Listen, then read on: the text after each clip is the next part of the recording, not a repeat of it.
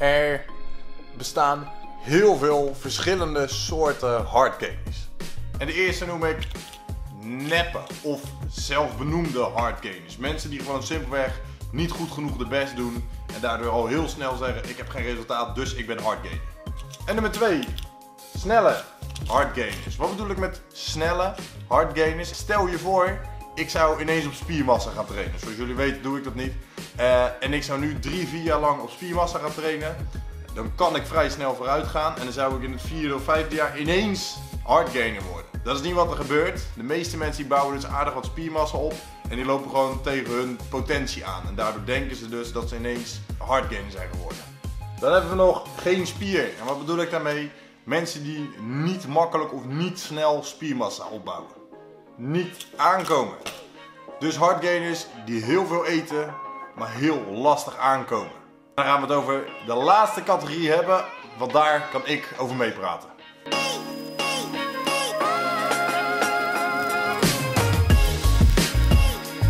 Als jullie de video Goede Eiwitrijke Bronnen hebben gezien, dan weten jullie dat ik van 70 naar 100 kilo ben gegaan.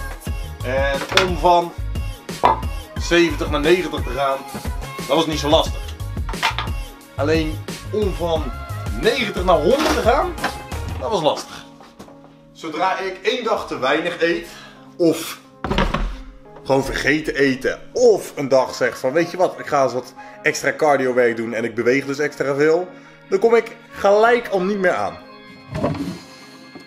Gelukkig zijn er een aantal voedingsmiddelen die me heel erg hebben geholpen en die me nog steeds heel erg helpen. En die wil ik dus vandaag aan jullie gaan laten zien. Het is jullie vast al opgevallen, ik ben niet voor niks met die dozen heen en weer aan het slepen. Uh, dat komt omdat ik Accutol zoek, zo niks. Niet deze, want dat is die van mij. Ik heb een Accutol geleend van een persoon die bij mij sport. Super aardige gozer, hartstikke fijn dat ik hem uh, mocht lenen, want we zijn natuurlijk de nieuwe locatie aan het verbouwen en daarvoor had ik hem hard nodig.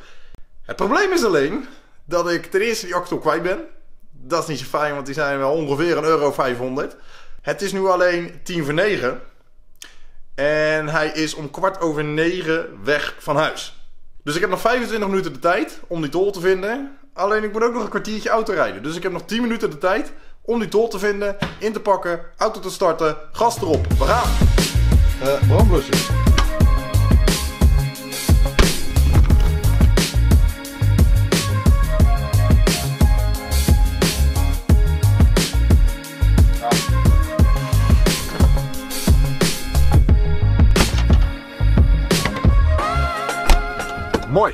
We hebben nog een kwartier over, kwartier rijden.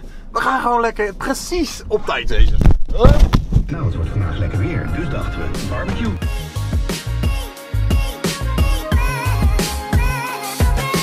Juist nu wil je... Ja, ik lekker bezig, pik! Jezus! Morgen, wat een oprijlaan heb jij, joh! Ongekend! Mooi, we hebben net die accutol uh, weggebracht. Precies op tijd. Eén dingetje waar ik nog wel achter kom. Ik heb vanavond heb ik een online les. En die online lessen die zijn iets anders dan de normale personal training die ik geef. Tijdens een normale personal training sessie kan ik uh, wat coaching tip meegeven. Ik noem maar wat. We gaan een plank doen. Heup hoog, bekken naar voren kantelen, aangespannen buiten, etc. En als ik een online les aan het doen ben, dan is dat iets lastiger. Als iemand gaat planken, verdwijnen ze meestal uit het zicht. Dat is al het eerste probleem. Maar het tweede is dat de communicatie gewoon lastiger is. Ik kan door beeldvertraging niet precies zien wat iemand doet. Ik kan uh, de houding van iemand niet fantastisch aflezen. Je kan veel aflezen natuurlijk, de, de grote punten, zoals bijvoorbeeld een te hoge heup. Maar bekkenpositie kan ik niet uh, aflezen. Uh, schouderbladen Schouderblad, hoogte, dus hangt iemand te ver door, staat iemand te bol met zijn bovenrug. Dat zijn allemaal dingen die kan ik iets lastiger aflezen. Dus ik moet uh, op een andere manier coachen. En wat ik met een andere manier van coachen bedoel is, normaal gesproken ben ik direct, informatief en uiteraard sta ik daar met, met passie en een beetje gezelligheid en humor. Het, het trainen moet ook leuk zijn. Alleen nu moet ik dat dus iets meer omdraaien. Dat ik ten eerste heel duidelijk ben. Heel specifiek met je aanwijzingen wezen. Planken, zoveel seconden, zoveel rondjes, etc. Moet echt verschrikkelijk duidelijk zijn. Dat moet het normaal gesproken ook, maar nu nog meer. En ik moet de mensen nu iets meer vermaken. We hebben ook geen barbells of dumbbells. Het is allemaal met lichaamsgewicht. Uh, dus de oefeningen zijn iets makkelijker. Eh, en ik moet nu dus wat meer entertainen. En dat betekent dus ook dat ik zelf ongeveer 80% van de training mee ga doen. Zo houd ik de energie hoog, het enthousiasme hoog, het tempo houden we er lekker in. Als je natuurlijk naar een beeldschermpje staat te kijken en jouw trainer staat naar je te kijken. Hey, je moet dit doen, je moet dat doen, je moet zus doen. Dat is niet leuk, dat is niet gezellig. Daardoor ga je niet harder werken. Dus ik moet nu iets meer switchen. Het probleem daarmee is dus dat het heel veel energie vreet. Maakt niet zoveel uit, maar ik ga niet om 7 uur s'avonds een les geven en dan vervolgens om 8 uur s'avonds weer zelf trainen. Ik ga niet 2 uur achter elkaar knallen, want uh, dat belemmert mijn progressie. Dat betekent dus allemaal dat het nu ochtends is en ik een hekel heb aan ochtends sporten omdat mijn lichaam gewoon nog niet lekker warm is. Maar goed, het moet, want ik ga niet twee uur achter elkaar sporten vanavond. Een uur personal training uh, en daarna een uur zelf trainen. Dat schiet niet op. Dus we gaan nu naar de loods, knallen er even een snelle workout uit. En daarna gaan we het over het hard gainer voedsel hebben. We gaan wel even naar huis. Zo lekker weer even een skateboardje pakken. Heerlijk.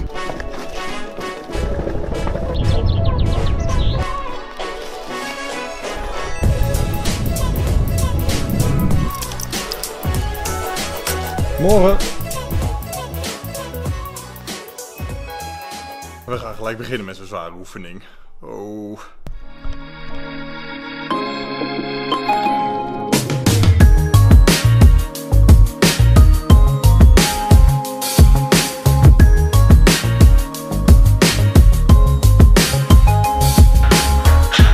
Ongelooflijk. 130. Als ik dat zou vertalen, naar een normale squat, is er niks aan de hand. 2 seconden pauze. Gelijk loodzwaar.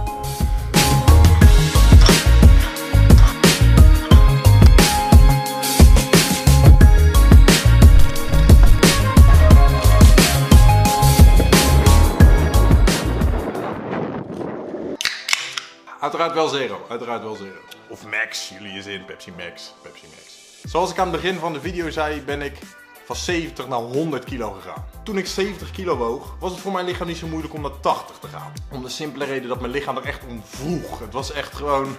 Ik, ik had mezelf bijna uitgehongerd. En dus om naar 80 kilo te gaan, dat is gewoon een punt wat mijn lichaam heel fijn vindt. En eigenlijk heel natuurlijk voor mijn lichaam is. En toen kwam het punt 90 kilo naar 100 kilo. En waarschijnlijk nog meer. Op dat 90 kilo punt, daar zat ik een tijdje gewoon, dan weer 90, dan weer 89, dan weer 93, dan weer 90. En al met al een beetje heen en weer te sukkelen en eigenlijk niet heel veel uh, aan het doen. En dat kwam omdat je dan op een punt komt dat je in de spiegel kijkt en denkt, ik was ooit 70, ik ben nu 90. Oeh, dat laagje vet, dat komt er wel overheen. En daar gaat men, tussen haakjes, sixpack. Um, en dat was al een puntje dat je dacht, ah, weet je, mijn harde werk, mijn harde werk. Maar op een gegeven moment kijk je jezelf in de spiegel aan en weet je, ik heb die leeftijd gehad, ik ben 28, dan heb je ook zoiets van, wat interesseert mij dat nou, weet je.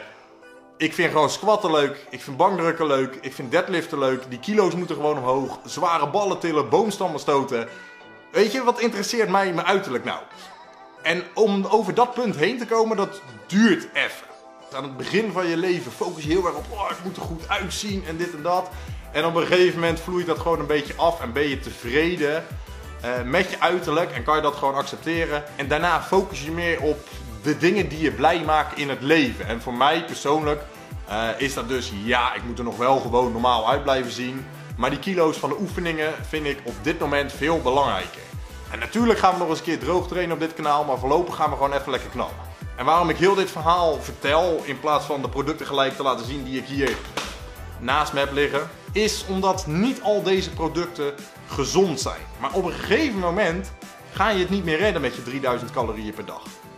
En om nou 15 plus boterhammen te gaan eten op een dag is ook geen, geen doen. Dus je moet wat ongezonde producten eten als je echt wilt gaan bulken. Oké, dan zijn we aangekomen bij de producten die ik zou aanraden en die ik eet. Iedereen weet dat je normaal je kipfilet nodig hebt. Normaal je blikken tonijn, je rijst, je pasta, etc. Dat weten we. Ik ga ervan uit dat jij dat ook weet. Dat eet je al. Dan komen de extra's. Iets fantastisch is natuurlijk nootjes. Cashewnoten, pekannoten, walnoten, alle noten prima. Dit zijn 500 gram zakken. 100 gram bevat ongeveer al 650 calorieën. Tel uit je winst. Deze kennen we allemaal. Good old pindakaas. Even een lekker dikke flinke laag. Twee boterhammen op elkaar, je zit zo op 300 plus calorieën. Iets wat ik dus ook heel veel doe is volle melk drinken. Ehm, op een gegeven moment ben je zoveel aan het eten dat eigenlijk het enige wat nog erbij past is vloeibaar eten. En dit combineer ik dus heel vaak met twee fantastische producten. Diverse soorten fruit. Eén banaan is ongeveer 100 calorieën. Met een halve liter hiervan, dat tikt al best aan. Dat zijn 300 calorieën als je een halve liter melk neemt. Eén banaan erbij is 400. Ik doe er meestal eh, twee bij. Dus dan zit ik al maar 500 calorieën. En dan komt er een ander fantastisch product wat ik echt gigantisch veel eet. Muesli.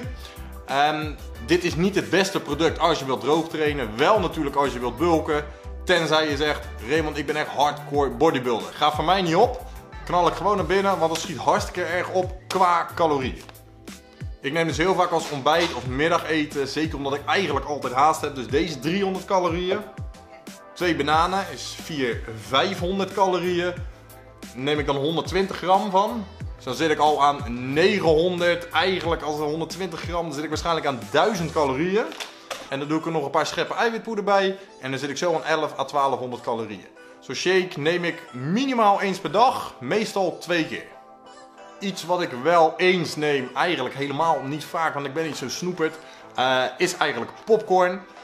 Kun je deze beter niet nemen, maar wel gewoon popcorn die je in, uit een los zakje koopt. Dus alleen met de losse mais, zelf even in de pan. Is allemaal net iets gezonder. Waarom heb ik dat dan niet? Wij hebben in dit gehucht hier maar twee supermarkten. En die ene supermarkt die verkoopt die losse korreltjes niet. Een fantastisch product is natuurlijk kwark. Uh, dat eten we altijd. Bevat ongeveer per 500 gram 250 calorieën.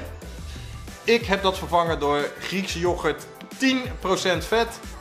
En dat bevat per 500 gram 600 calorieën. Dan doe ik altijd nog zo'n schep erbij. Dan zit ik aan 1000 calorieën. 100 gram van dit, 500 gram van dit. Net voor het slapen gaan maakt 1000 calorieën. Samen met die shake die ik dan ongeveer 1 à 2 keer per dag neem is 3000 calorieën. Uh, dan doen we nog een keer avondeten. Kom ik ongeveer 37, 3800 calorieën. Dan drink ik ook nog een keer melk weg. Dan ga ik richting de 4000, 4200. En af en toe nog gewoon een handje nootjes erbij. Zit je op zeker 4, 4500 calorieën. Uh, en zo ga je wel van 90 naar 100 kilo. En waarschijnlijk gaan we nog eens over de 100 kilo heen. Een ander product wat ik niet op voorraad heb, uh, dat is avocado's. Dat eet ik ook nog wel vaak. Meestal maakt mijn vriendin dat dan dat in, in een wrap in plaats van los. Want ik vind het los persoonlijk niet te eten. Over wraps gesproken, iets wat ik ook vaak eet. Dat is een zalm wrap. Meestal met een beetje roomkaas. Niet het beste product. Maar lekker dikke plakken zalm. Eén wrap, roomkaas. Het is lekker zompig zal ik niet zeggen. Het is flexibel, vloeibaar. Een paar happen. En je knalt zo 1000 calorieën naar binnen. Nog een goed product, dadels, gedroogd fruit. Ja, hoge suikerwaarde. Um, maar bevat wel echt heel veel calorieën en kan je heel makkelijk door je kwark, door je shaky, door je, door je melk heen gooien. Net wat voor jou uitkomt. Dit zijn de producten die ik persoonlijk eet. Ik heb ook een heel actief leven, niet alleen qua sport en qua trainen, maar ik ben eigenlijk altijd aan het werk. Ik werk standaard 7 dagen in de week uh, en daardoor verbruikt mijn lichaam echt wel gigantisch veel calorieën.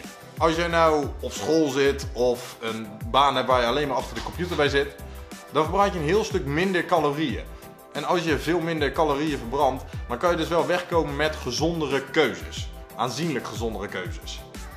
Dan kun je bijvoorbeeld wisselen in plaats van de 10%, 10% vet naar de 2% vet of zelfs gewoon de magere kwark. Eh, in plaats van een muesli havermout nemen. Het ligt er een beetje aan hoe jouw leven in elkaar zit. Het is voor mij onmogelijk om te zeggen, dit zijn de pro beste producten. Dat scheelt namelijk heel erg per persoon. Zoals ik net het voorbeeld gaf bij mezelf. Dat was het weer voor vandaag. Ignite your fire and grow stronger.